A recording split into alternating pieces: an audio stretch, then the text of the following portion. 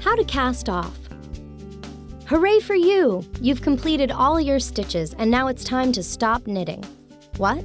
You don't know how to stop? Relax, you've come this far, the rest is easy.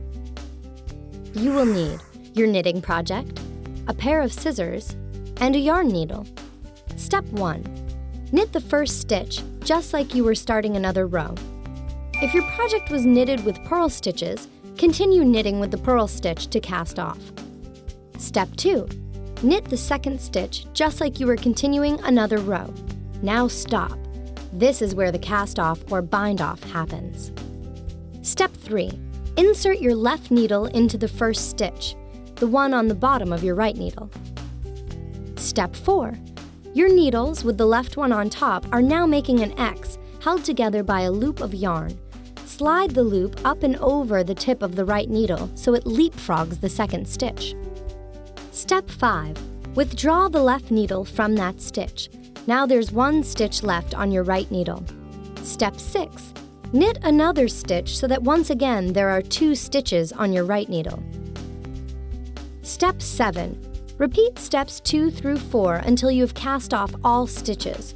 Only one stitch should remain on your right hand needle. Remember, you're repeating a pattern where you have two regular knit stitches on your right needle you get rid of one, replace it with another, get rid of one, replace it with another, and so on. 2, 1, 2, 1, 2, 1. Step 8. Cut off the yarn, leaving about 6 inches extra. Step 9. Pull the right end through the loop remaining on the needle. Tighten it against the needle, then slide the needle out. Push the knot tightly against the completed project.